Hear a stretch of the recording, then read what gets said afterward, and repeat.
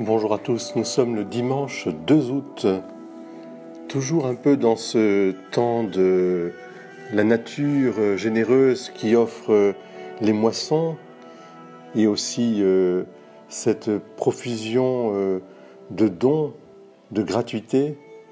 Le Seigneur euh, petit à petit nous amène à comprendre que à la base de toute relation, il y a euh, cette communion, cette communication.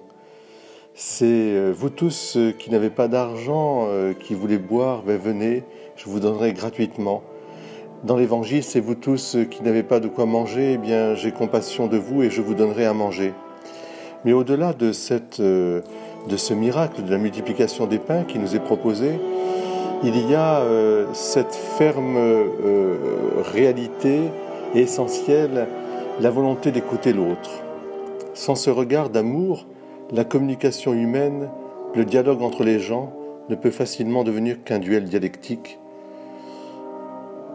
Tu as, tu n'as pas, tu m'intéresses parce que tu me donnes, ou, euh, alors c'est moi qui euh, t'a servi.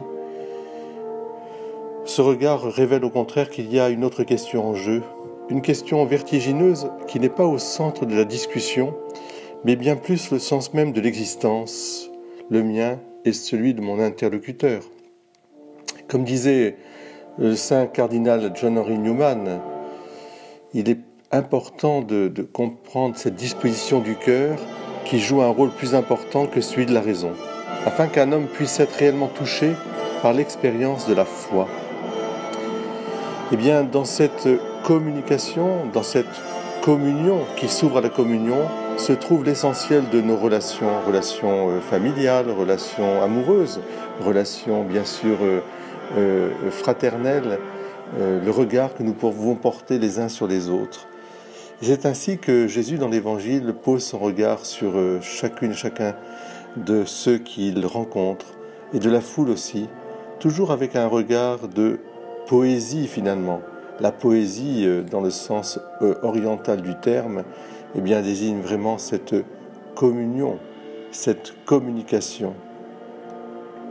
C'est le sens de la contemplation, le fait de s'arrêter et de s'ouvrir à soi-même et aux autres dans le signe de la gratuité, du pur désintéressement. Sans ce plus de poésie, sans ce don, sans cette gratuité, une vraie rencontre ne peut pas naître, ni une communication proprement humaine. Et nous voyons dans l'évangile de la multiplication des pains. Qu'est-ce que fait Jésus d'abord? Eh bien, il rencontre la foule dans ce qu'elle a de plus euh, fragile, c'est ses besoins humains, euh, naturels, de la, nourriture, et il en a compassion. Il avait compassion de cette foule, comme il a compassion de chacune et chacun d'entre nous. Et nous aussi, eh bien les uns les autres, nous devons avoir cette, ce regard de gratuité et demander au Seigneur de ne considérer dans l'autre que cette merveille de cette création, euh, euh, voilà, de cet enfant de Dieu que nous sommes tous. Quitte à prendre des risques, bien sûr, parce que il faut bien prendre un risque euh, pour rentrer en communion et en communication. On peut être parfois déçu, c'est normal, mais il ne faut pas rompre et il ne faut pas, je dirais, ne plus croire à ce principe de communion, de communication. Alors oui, la multiplication des pains nous rappelle cette gratuité et nous invite à la gratuité, au don de nous-mêmes, pour former tous ensemble ce pain de vie qui transforme notre monde. À vous tous, un très beau dimanche. N'oubliez pas le gâteau ou la glace. Et puis surtout, n'oubliez pas de partager gratuitement, c'est-à-dire dans l'amour et la générosité de votre cœur. À bientôt les amis.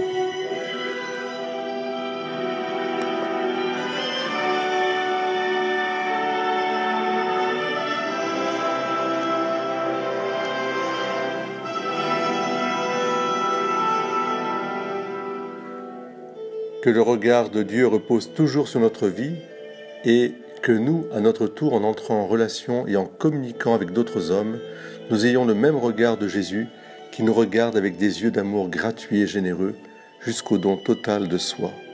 Pape François.